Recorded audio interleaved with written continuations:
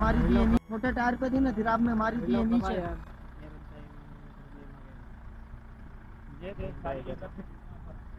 भाई ये गाड़ी मारी हुई है भाई जब तो ये टेप लगाई हुई है नहीं ना लो यूँ हांगी तो पहले दूसरे चक्कर ही मार दी थी। ओके दे सेटिंग में ना तो करनी तो-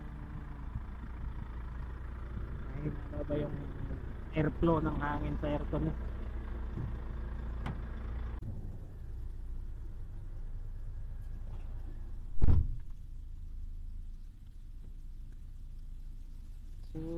naka number 3 siya. Naka number 3.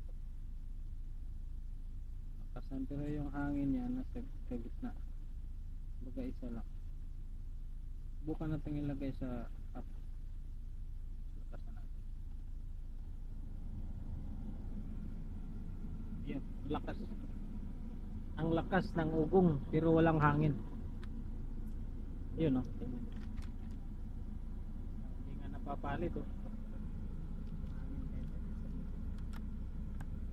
Yan, zero.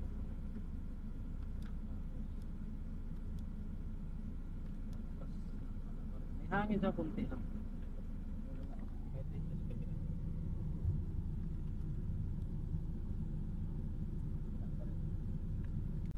Wala. Ah, labas. So, ganito lang gagawin natin yung kabayan. Patay doon sa.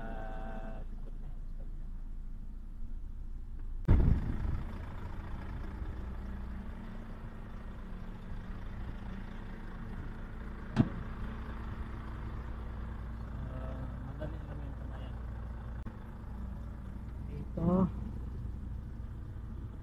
bakulsin natin yung ilalim ng ano aircon. May sikretong bukasan dyan kabayan sa ilalim. Yung ano niya, cabin filter. Cabin filter niyan sigurado barado.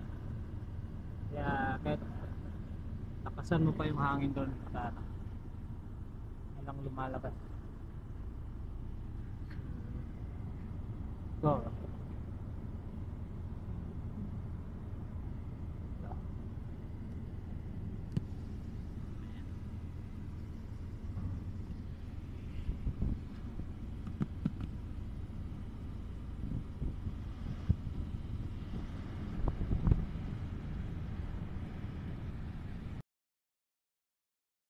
Yan. Yan. Tingnan nyo kabayan. Ang dumi. Oh.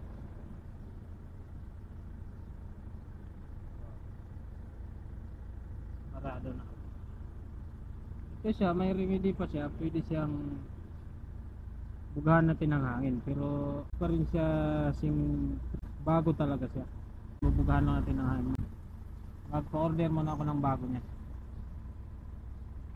Eh, ngayon, natanggal ko yung ano, filter.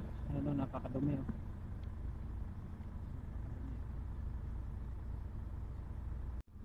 So, ayan kabayan, nailinis ko na, naibugahan ko na siya ng hangin. Babalik lang muna natin to kasi wala man akong reserva nito na bago. Para habang ipinaorderan ko pa siya ng bago, isasalpak ko muna to siya uli. Kasi dipinsa na rin ito siya sa loob ng evaporator. Hindi pa ng dumi.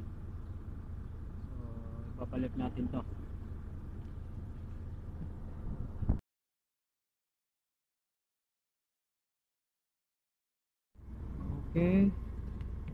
Balik natin yung takip.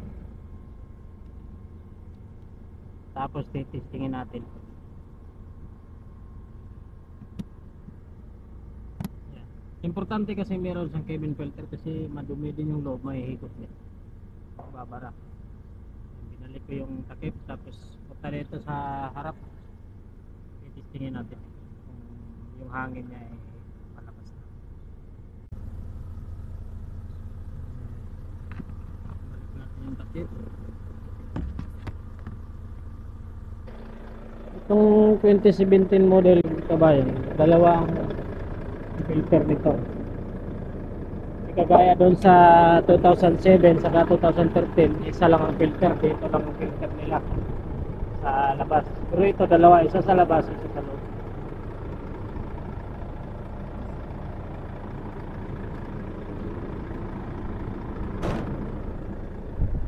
okay testing natin ulit yan naka number 3 lang siya pero ramdam ko na yung hangin yan malakas na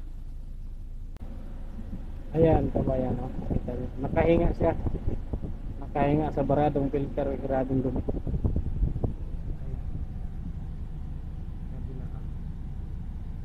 Ayan.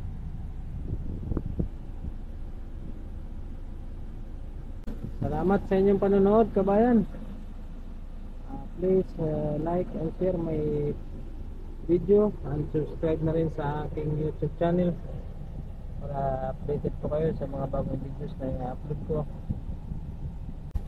Maraming maraming salamat po.